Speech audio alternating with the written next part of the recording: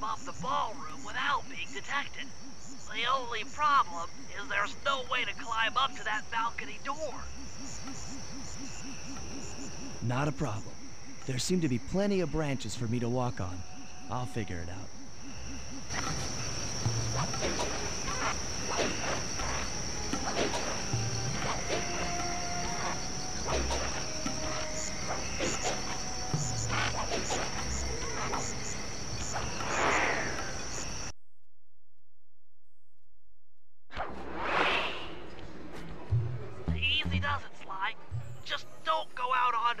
Balcony and you should remain undetected.